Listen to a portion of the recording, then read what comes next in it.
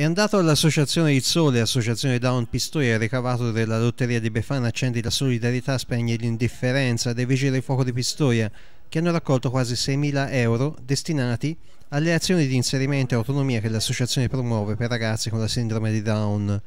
La consegna si è svolta con quella dei premi ai vincitori della lotteria negli spazi della Casa Sicura, che progetto unico in Italia sarà inaugurato dai Vigili del Fuoco l'11 maggio, offrendo un inedito percorso didattico contro gli infortuni domestici. La lotteria dell'Epifania ha messo in palio al primo posto un carrello della spesa da 500 euro, al secondo un soggiorno a Gardaland, al terzo un compleanno per 30 amici a Wonder Park. A vincere quest'ultimo una signora che con un bel gesto lo ha subito donato all'Associazione Il Sole. Anche quest'anno il comando d'intesa con l'Associazione Nazionale dei Vigili del Fuoco, con il CRAL e con tutti gli altri enti che hanno collaborato, primo tra tutti il Comune che ha messo a disposizione la piazza e, e tante altre strutture, siamo riusciti a portare a termine questa quest iniziativa. Mi auguro di ripeterla anche nei prossimi anni e come dico sempre è un modo di essere presenti nella città, è un modo di, di